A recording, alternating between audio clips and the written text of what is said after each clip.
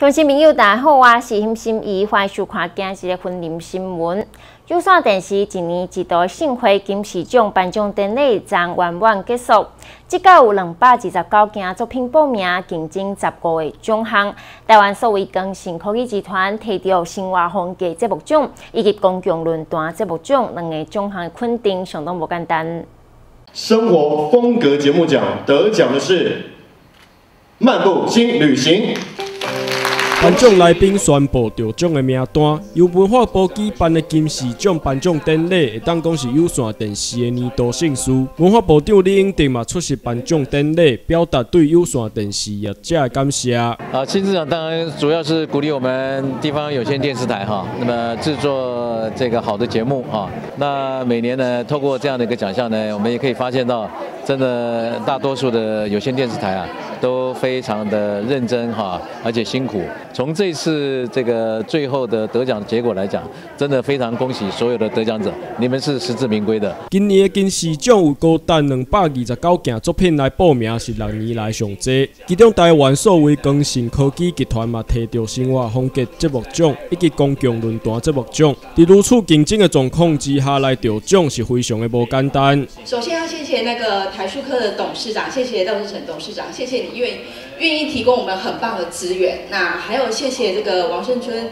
总经理，还有谢谢周旭玉副总，背后最重要的一群工程就是我们制作中心所有的同仁，谢谢这个兰姐，谢谢我的呃摄影师，谢谢志哥、浩哥、居米，还有阿毛，那还有谢谢这个所有的。呃，文学诗人，谢谢你们这五年来越一直支持我们。那最后再次谢谢评审，那我们就会继续拿着这份荣耀，继续为台湾制作出优质的节目。谢谢。呃，在我看起来，呃，能入围其实就是得奖，因为这个竞争是非常激烈的，然后所有的工作者都很认真的在耕耘在地的节目。然后记录在地的生活，这个部分坦白说不是主流的媒体可以做到的。由北港有线电视公司所制作、传达婚礼北港之美的节目《漫步轻旅行》，得到生活风格节目奖的肯定。为此，婚礼馆长张雷生嘛特别透过新闻处长来表达肯定以及祝福。我们非常高兴听到北港有线电视的《漫步轻旅行》获得今年的金视奖。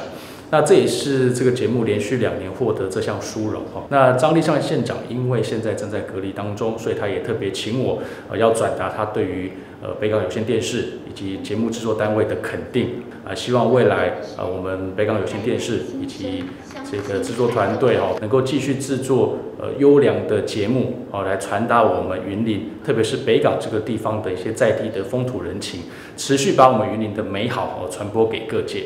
传达地方的声音，打造优质的节目，是有线电视存在的意义。未来婚姻新闻团队会继续来拍拼，为乡亲呈现上优质的新闻内容，做会关心地方的大小事。婚姻新闻综合报道。